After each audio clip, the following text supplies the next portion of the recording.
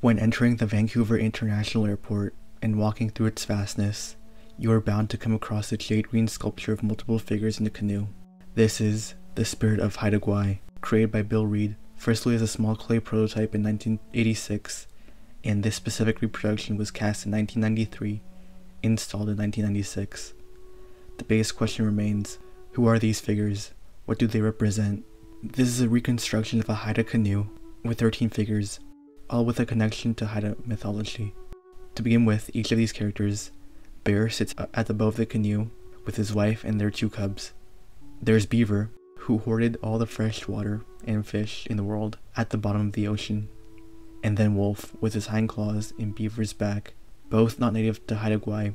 According to legend, they were brought to the island by a magical gust of wind.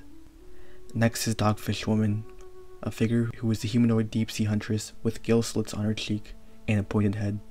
Mouse Woman is also present, hiding. Mouse Woman guides those from the human world to other non human realms, while her grandchild Raven, a trickster, sits at the stern and appears to want to guide the canoe's direction.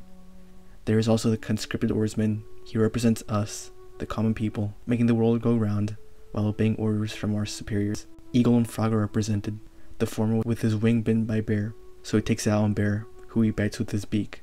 Now for the centerpiece, according to the label nearby, possibly represents the spirit of Haida Gwaii, with his staff topped by an orca.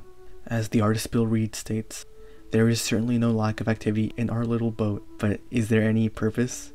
Is the tall figure who may or may not be the spirit of Haida Gwaii leading us? For we are all in the same boat, to a sheltered beach beyond the rim of the world as he seems to be, or is he lost in a dream of his own dreaming? The boat moves on, forever anchored in the same place.